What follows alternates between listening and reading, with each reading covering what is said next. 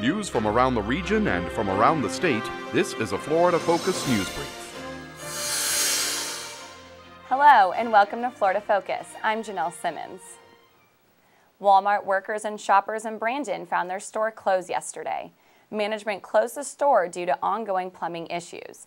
About 400 employees are impacted.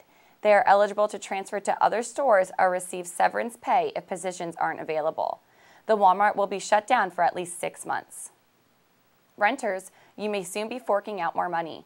According to a national study, rent increases in the Tampa market are among the largest in the U.S. The area ranked 13th. Tampa renters will pay nearly $1,000 a month.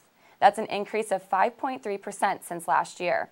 The Tampa area increase is projected to be the largest in the state. A St. Petersburg man was struck in a crosswalk last night. The pedestrian appeared to be standing in the middle of the road. Police aren't sure if the man stepped into the car's path or if it swerved into him. He was pronounced dead at Bayfront Health.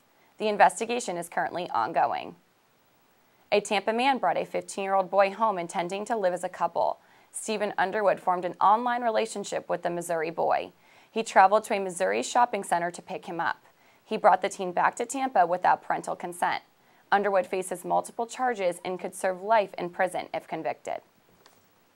Tax day just got a whole lot easier on your wallet.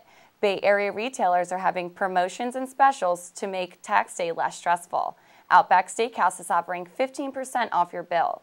Burger King is having buy one, get one free Whoppers. Over 20 businesses are bringing deals your way. For a list of specials and freebies, visit the Florida Focus website.